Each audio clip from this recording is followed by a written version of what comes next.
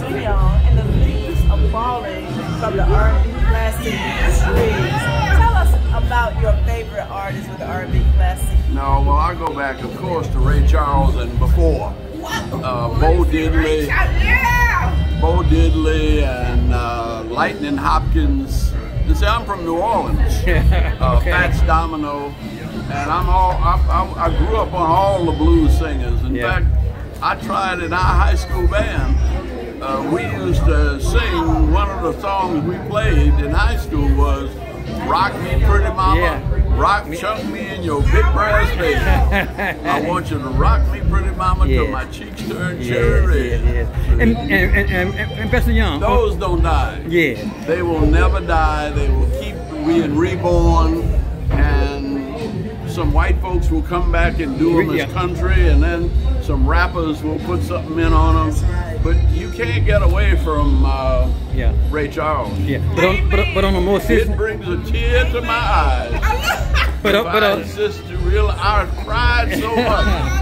Since But, uh, gone, I think I'll drown in my own tears. yeah. but I do want to get your thoughts. The leaves are steady falling from the tree of life as it relates to those artists. They're The steady hell letting with that. pass. Yes.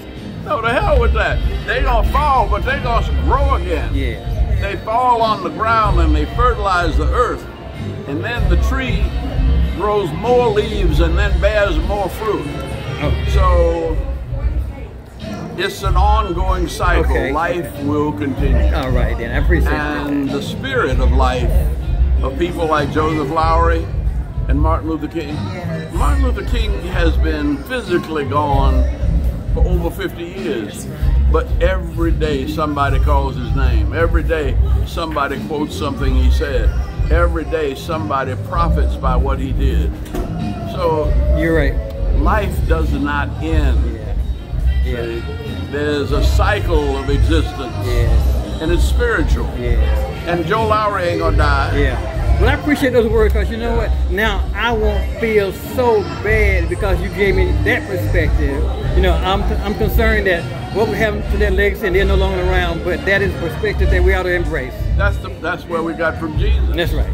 And that's what took our slave parents through Yes, slavery. yes. And he's never failed us yet. That's right. Thank Okay. you, sir. Thank God you, sir.